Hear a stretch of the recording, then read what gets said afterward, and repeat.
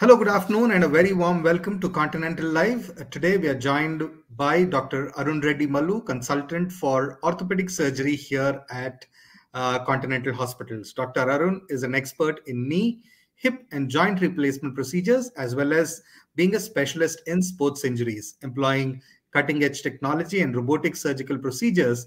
Dr. Arun steadfastly seeks improvement in patient outcomes and excellence in patient care. Sir, a very warm welcome to you and a warm welcome to all our uh, audience. Uh, today you, we are, uh, yeah, today we're going to be talking about how to prevent uh, sports injuries. As we see, uh, a lot more of us today uh, are willing to actively venture out and play sport, but along with playing sport, there are, of course, the dangers of injuries. So let's get right to it and uh, talk to Dr. Arun about how to prevent common sports injuries. Sir. Thank you for the warm welcome, Venus. Uh, good eve- uh, very good evening to everyone who have joined us. Yeah, I'm very glad that we are having this discussion. And that's a very relevant and important public health question. Because nowadays, we're seeing that people of all ages are involving in recreational and also very competitive sporting activities. We know that some sports involve upper body, some involve the lower body, and some sports generally uh, affect the entire body. However, broadly, to protect ourselves from any of the sports injuries, we need to follow uh, some advice given by the sports physicians so that you know we can avoid the sports injuries. So let's come one after one. The first and foremost thing is always be hydrated. That is drink plenty of fluids before the activity and also during the sporting activity because if you are dehydrated it leads to reduced concentration and decision making. It leads to impaired judgment. And this will ultimately lead to some kind of a sporting injury. So always be hydrated drink fluids before the sporting activity and also during the sporting activity. And the next important point is like being overtrained. That is you know there's a lot of overtraining that's happening with athletes especially. Uh, the, i always tell to uh, the athletes who come to see me always listen to your pain and respect that pain because the body is trying to tell you something that you're stressing me out and it's giving you the pain. So listen it and always respect it. And if you feel that you're always tired and in constant pain then take rest for one or two weeks and then go back so uh, and also uh, keep telling this to my patients uh, giving rest to your body and helping it to regrow is also a part of training. So don't neglect that part of training. Right? Right. Right. And also, uh, any sporting activity, you need to do warm up and stretching exercises. So, what is a warm up? So, each sport has its own specific warm up. For example, uh, you know, uh, practicing catches before uh, playing cricket, or you know, hitting those slow paced tennis shots before an actual match, or you know, in soccer, we see these rondo drills you know before the activity so each game should have a specific uh, warm up routine before you actually enter into the uh, competition and also um, the warm up should be in such a way that it increases your heart rate increases your breathing rate and you get that light sweat on your face and body. That's how any warm up should be. And also do the stretching exercises where you're stretching all the opposite group of muscles before the activity so that you don't get into sprains or uh, tears like that. Mm, so warm up and stretching routine should definitely be there before any kind of uh, sporting activity. Right uh, sir uh, while most of uh, what you have um, just described will uh, be applicable to somebody playing sport um, either as a professional or um, at a slightly serious level there are many of us and i mean uh, people like me who are more uh, of weekend warriors. So through the week, we are uh, completely sedentary, no physical activity, and then uh, on a Sunday or on a uh, Saturday evening, uh, we go out into the park and we want to play a hard game of cricket or soccer or something like that. Uh, so, can you uh, put this in context for the weekend warriors? Yes, very true, Venus. This concept has already been uh, evidenced and researched. There's definitely this this this thing called weekend warrior. So this warrior is basically uh, he has minimal physical activity during the weekdays, but during the weekends he enters into very rigorous sporting activity. It has been evidenced and researched that these week, weekend warriors are at prone for higher risk of injury. Uh, so the, the basic advice is don't just jump into high recreational or you know competitive sports only at the weekends. You have to maintain some level of activity even during the weekdays. Otherwise, you will be a weekend warrior and somehow develop and land up in some kind of injury because you're basically not fit all through the week, right? Right, right. Sir, you uh, briefly touched on uh, core strengthening and uh, warm up, and going back again to people who play sport professionally uh, or seriously. Uh, so, can you lay a little more emphasis on uh, what exactly is warm up and what is the importance of warm up in injury prevention? Yeah. So, mm, uh, regarding the core strengthening, uh, many people generally uh, do abdominal crunches and they uh, they're more uh, concentrated on the um, strengthening the front aspect of the body. But people neglect your back muscles people neglect their glutes people neglect their hamstrings. So you should always include planks in your routine. What are planks? You have a front plank you have a side plank exercise and you also need to do squats and lunges so that you know the back aspects of your the um, back muscles of your body are also strengthened. So always inculcate or incorporate your plank exercises both front and side planks your glute strengthening and hamstring strengthening. Only then you will have a good proper core strength. Just doing abdominal crunches repeatedly doesn't give you a good core. You should also concentrate on the opposite group of muscles. Only then you can uh, yes that and also having a proper technique. See any sporting activity will have its own proper technique. If you don't follow the technique you will be more prone to the injury. And also you'll also be not good at that sport. So always learn the proper technique of the sport and also follow the rules of the game. The rules are actually in place so that you are you won't be injured. The rules are for that. At least 50% of the rules in any game are basically laid down so that you basically don't enter into these uh, complex uh, sports injuries. So always right. follow the rules. And also having uh, right equipment and protective gear is also important. Like, you know, having uh, good shoes if you're wearing some worn out shoes and playing on that uh, you basically flat your feet will land in the wrong direction and you basically you might have a twisting injury. Mm-hmm. Mm, wearing proper gloves you know will uh, uh, protect you from injuries of the hand and the wrist. And wearing some good pads for example in cricket will basically prevent from uh, uh, bruises abrasions you know that kind of activity. So having right equipment and protective gear is also important Right. Uh, so, friends, uh, this afternoon we are with uh, Dr. Arun Reddy Mallu, who is consultant for uh, orthopedic surgery here at uh, Continental Hospitals. We are uh, having a discussion on how to prevent and deal with sports injuries. If you would like to have um, any question answered by Dr. Arun, please feel free to put it in the comment section. We'll try and accommodate as many uh, as uh, possible. And should you want to see him here at uh, Continental, there is a number that is at the bottom of the screen. you can call and find an appointment with uh, Dr. Arun. Uh, moving uh, this conversation further, now we understood what causes or what preventive measures to be taken. We spoke about warm up and then techniques and protective um, gear and all of that. but I'm sure um, any sport does have the risk of injury uh, while somebody is playing it. So, uh, sir, can you please help us understand what are the common sports injuries that you in your practice see that um, Indians or people uh, in our um, vicinity come to you uh, with uh, uh, for consultation or for um, help? Yeah, that's a very good question, Venus. Um, So the one of the most common sports injury that I see in my clinic is an ankle sprain. So you might twist your ankle for whatever reason.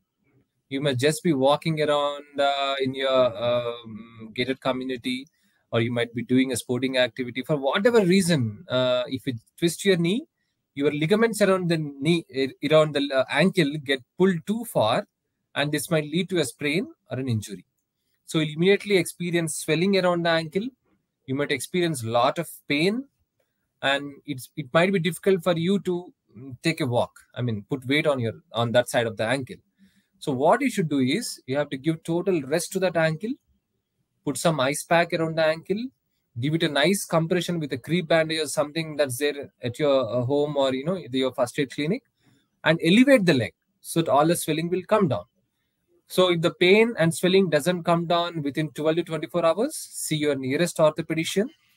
And remember that if you want to avoid yourself getting into an ankle sprain, always strengthen the ligaments and the muscle group around your ankle. Sure, sure. Uh, so, and the uh, second uh, most common thing is, is shin splint. So basically, shin splints happen uh, in long distance runners or in any sports which involve a lot of running. Okay. So what happens is when you're doing this kind of running, you're basically uh, uh, your feet striking the ground at a lot of force, and the shins are the primary bones which absorb this shock and um, distribute it among the muscles and ligaments.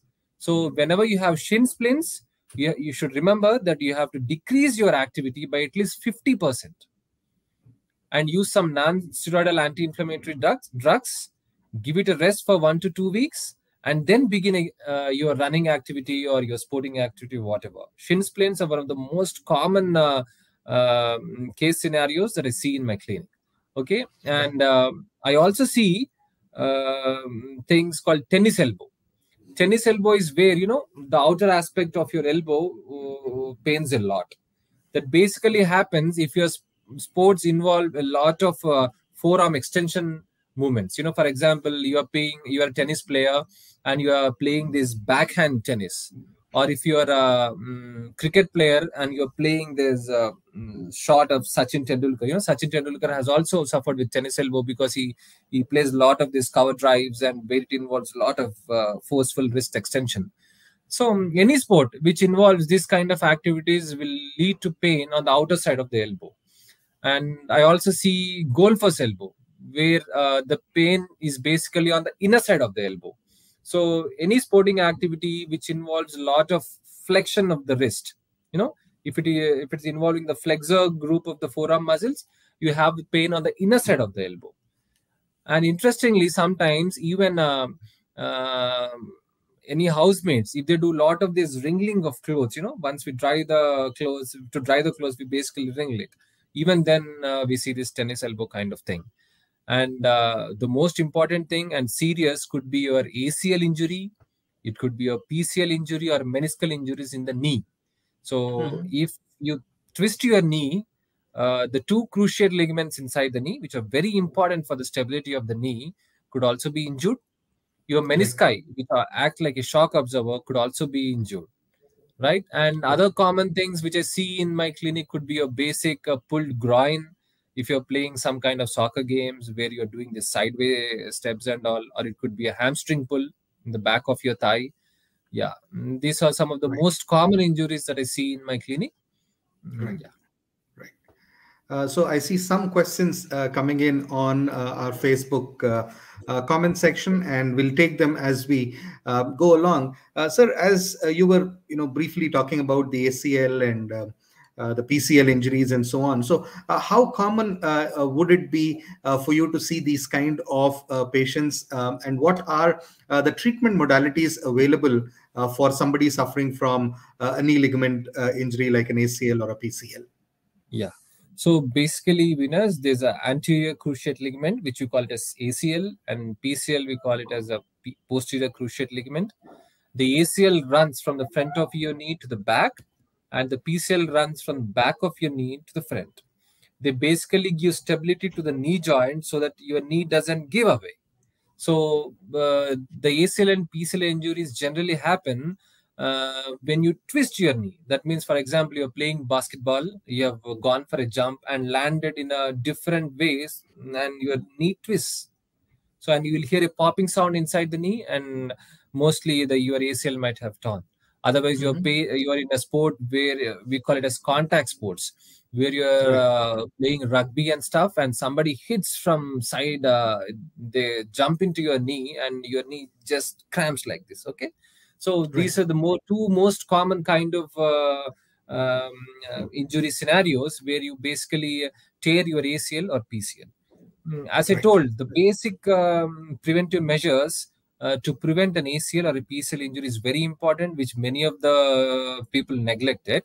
You should build your muscles around the thigh, that is both the quadriceps and hamstrings, so that you know the load is uh, basically taken by these muscles when you are uh, landing. And also, you should train how to jump and land safely. So even your warm-up routine should have these exercises where you jump and learn to land safely so that your knees don't basically cave inwards. These are the um, so that's what you should be trained how to jump and land safely, and you should also be trained to improve your balance. And how to improve your balance? You should basically do those single leg squats. You should do those split with rotations. You know, these are the kind of uh, exercises which improve your balance uh, and agility training, uh, um, agility training in changing directions. So there are a lot of games where you will be forced to change directions. That means you're running like this and you suddenly need to change direction. So Mhm. you should also uh, simulate these uh, kind of scenarios in the warm up itself, so that you know you are uh, trained uh, to resist uh, the forces which lead to ACL and PCL rupture.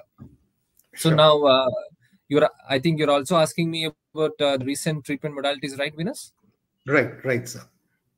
Yeah. So coming to the treatment modalities, now uh, before 10, maybe 10 to 20 years ago, treating ACL was very cumbersome. But with the recent technology, ACL and PCL reconstruction have become a keyhole surgeries, uh, where we harvest your own hamstring tendons or I mean or uh, patella tendon, and with the help of two keyholes, we put the camera in and some instruments from the other keyhole. We replace your torn ligament with your own body's ligament. Um, that's how it is done. We drill uh, two small holes, one in the thigh bone and one in the leg bone, and fix the new ligament with two tight ropes. It's basically like a suspensory bridge. No, we call it a suspensory suspensory fixation. So um, it's basically safe. The success rates are really good in good su- surgeon hands. Mm, you need not worry. Uh, many ask me whether will I be able to get into sporting activity uh, after the ACL surgery. We have treated many athletes who uh, with this. Uh, we have done uh, ACL and PCL surgeries to many athletes, and they have gone to win national medals, the state medals, and uh, they played kabaddi bag. You know, so do not worry. You can definitely enter into uh, re-enter into your sporting activity after the this uh, ACL and PCL surgery. But remember, a good rehabilitation program is must after the ACL or PCL surgery. And in Continental Hospital, the surgeon, the physiotherapist, and the nutritionist, the three act coherently and see that you enter into your sporting activity very soon. So uh, it was almost like you're reading my mind because these were the two uh, aspects that I was going to come to uh, next. Uh, friends, uh, today we are with Dr. Arun Reddy Mallu, who is um, consultant for orthopedic surgery here at uh, Continental Hospitals, and we are talking to him about uh, sports injuries, how to prevent them, how to treat them, and so on and so forth. Um, and as you can see, there is a number that is scrolling at the bottom of the screen. Uh, should you want to consult him and meet him, feel free to call on that number. And if you have any questions that you want to ask him uh, while this uh, live stream is going on, feel free to put it in the comment section. We have some questions uh, already in there, and uh, I would take um, all of those at uh, the end uh, when we come to the. Venus, I could see a conclusion of- question. Uh, I Yeah, could see a uh, question. so- Somebody is asking me uh, to comment on shoulder injuries. Yeah, so I'll yeah. uh, I'll come to the questions uh, at the end, uh, Doctor. We'll we'll take all of them uh, together. Uh, I wanted uh, you to talk about the advancements in in the treatment modalities because for a sports person, it is it is such a big worry when they get injured, whether they'll be able to get back into action, whether they will be able to perform at the same level, whether they will be able to find their place in that team. Uh, and uh, in this, either they want to take quick fixes or they don't want to do proper rehab or they want to rush their comeback uh, to uh, full steam action. Uh, so can you please comment on these aspects, which oftentimes we see causes uh, relapse injuries or compound injuries? Very true, Venus. So if you don't give enough time to rehabilitation program, after, especially after a sporting injury, and you jump back into the sports, you might re-rupture your uh, new ACL. So that's the reason why before re-entering into the sporting activity, you should discuss with your physiotherapist and your surgeon, are you in a right physical condition to re-enter? So we have many uh, uh, tests to confirm that you are in that level of physical fitness. For example, the basic thing we call it a single leg hop distance. For example, if you have injured your right knee, you should be able to jump at least 80% uh, uh, of the distance that you jump with the left left knee. That's called single hop. So the distance of, uh, if you calculate the distance, your injured knee should at least be towards 80% of the distance when you're doing a single leg hop. Okay. Um, that's one thing. And coming to second thing, nutrition. If you're not eating high protein diet and you are into all kind of junk food post a surgery, it might your muscles might not get the, that strength back or you might be prone to more infections or the healing could be much slower than a normal guy okay and regarding the recent techniques yes we have different modalities of uh, um, treatment for different kinds of conditions for example we do uh, PRP injections, which is called stem cell therapy. Basically, for example, if there is any small uh, uh, very minute cartilage uh, lesions, we do PRP. Uh, we give PRP injections into your knee joint or your shoulder joint. If there is a cartilage damage, big defi- big defect, we do OATS technique. Okay, I mean we take cartilage from other area and put it there, or we do an autologous chondrocyte implantation. So these are different kinds of treatment. Um, there are different kinds of treatment modalities based on the kind of injury that you have so you should always discuss that with your orthopedic surgeon. Ask him the pros and cons of each treatment modality, and you will be in a position to take the decision. Right, Venus? Right, sir. So uh, before um, we lose uh, some of our audiences because they have uh, their questions waiting, they're slightly away from uh, our subject matter uh, this evening, but nevertheless, we'll answer a couple of questions and then we'll circle back uh, to our subject before we close this live stream today. So, Mr. Suresh is asking us, sir, would you recommend knee replacement for a 76 year old uh, female, non diabetic, uh, non hypertensive patient? if you could help Mr. Suresh with his we have done many replacements even to 90 year old people we have we have even done partial knee replacements for a 90 year old person we have done total knee replacements around 90 so as i told uh, if he is in a good physical condition to tolerate a surgery, number one. And does he really need a surgery? That's the most important question. I mean, is he really suffering with the pain? So if he's really suffering and if he's fit for the surgery, age is no limit. We have done a lot of total knee replacements and partial knee replacements for uh, people around 90 years of age. Right, sir. Uh, the second question we have is from Mr. Shrikant, who is uh, looking for a solution for uh, joint pains. So if you have any um, solution for them, uh, Mr. Srikant would be very glad. Yeah, Srikant. So basically, we should find a reason for the joint pain. So the joint pain is just a symptom, right? So uh, and further symptom, there could be many reasons. It could just be a, a, minor injury to a major ligament rupture or a meniscal injury, you know, or um, chondromalacia of the patella where you know the cartilage of your kneecap becomes very smooth you know. So there are many uh, reasons for the joint pain. First we should identify the reason.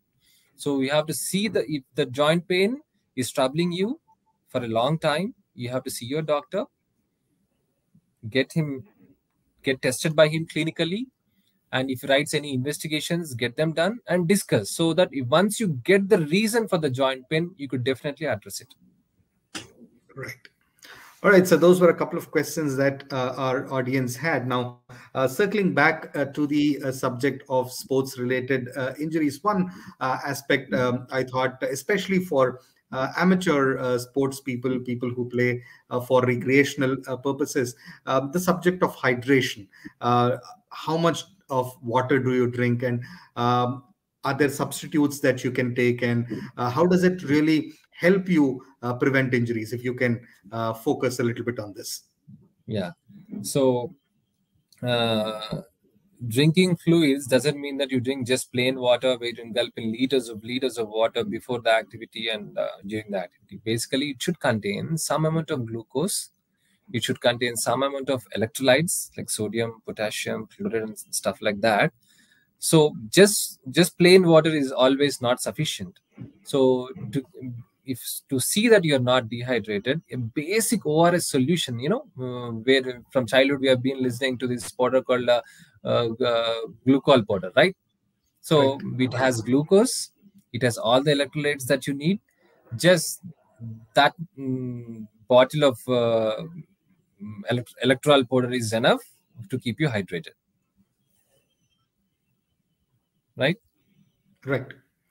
All right. Uh, so the uh, other question that I uh, I have, and this is for you know people who uh, play sport slightly at uh, a more serious or professional level, uh, the kind of facilities that we need at a sporting venue. You are having a children's um, competition or a sports day or something like that. So, what kind of basic facilities do you need to make sure that either serious injuries are prevented or moderate injuries are effectively dealt with at the venue itself? So if uh, there's a sporting activity going on at a, at a venue, um, any sport, first of all, you should have a person who can deal, uh, who can deal or do the first aid of any injury. And what is the first aid for an, any, any injury? Total rest to that uh, area. Ice pack should be available. There should be uh, some aluminium splints for example there could if a, fracture happens we need to immobilize the area right? And to immobilize the area you need some aluminum splint.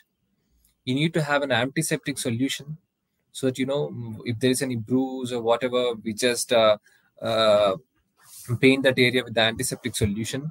So there should be there should definitely be one guy who can deal with all kinds of uh, injuries at a basic level. As i told you rest ice, compression, elevation, and immobilization. Immobilization with aluminum splints and do some kind of first aid mm, with a, a betadine solution or a, a spirit solution like that. And also a vehicle to transport someone from that venue to the hospital.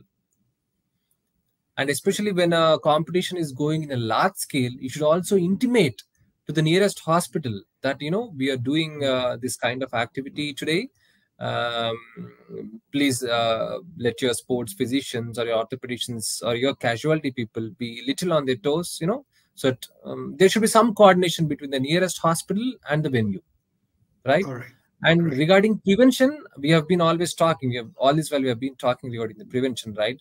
Never enter into a competitive sport without a proper physical fitness or without a proper warm-up routine and a stretching routine.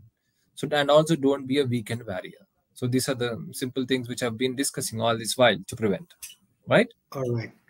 Right, we've had a very long and uh, uh, you know informative discussion on uh, sports-related uh, injuries with uh, uh, Dr. Arun Reddy Mallu.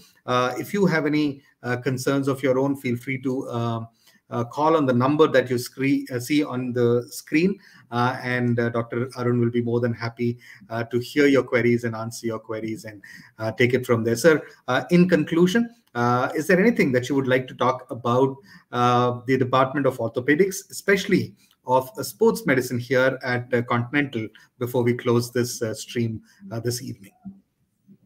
Yeah, I know it's not like boasting about the hospital that I work in, but uh, I just wanted to say uh, it to people who are listening in. Here at Continental Hospitals, we are having a very good team of sports surgeons. we have a very good team of uh, physiotherapists who are basically uh, into rehabilitation of very competitive athletes. In fact, many of the sports associations are associated with the Continental Hospitals team. We have a very good nutritionist team where uh, they explain you the importance of the diet in your rehabilitation or recovery process. And forgetting about the hospital, I just wanted to sell, uh, tell this to any athlete or any sport person who injured himself. Do not lose your confidence. Wherever you are, go to your nearest orthopedician. Even if he doesn't have the expertise to treat a sports injury, he will be the person to guide you. Always discuss the pros and cons of any surgery of any treatment modality with your physician or I mean with your surgeon or an orthopedician and always be honest in your uh, suffering. So then people are definitely there in the society to help you out and take you in a good direction. Right? All right. I think uh, that's uh, what we have for uh, you this uh, afternoon. Uh, we'd like you all to share this video if you really found it informative. If you have more comments feel free to leave them in the comment section whether you're watching us on facebook or on youtube. Uh, do share uh, with it uh, share the video with your friends with your colleagues and so on. And if you need a consultation feel free to call on the number that you see on the screen also our hospital url is visible you can log in uh, you can leave a direct message on our social media channels, and we'd be more than happy uh, to help you. Dr. Arun, thank you so much uh, for yeah. taking the time from your busy schedule and talking to our audience. Uh, to our audience, thank you for joining us. If you will watch this later in the future, uh, feel free uh, to get in touch with us uh, and we'll be more than happy to help you. Until next time, from Dr. Arun, myself, and everyone here at Continental Hospitals, it's thank you and goodbye. Thank you.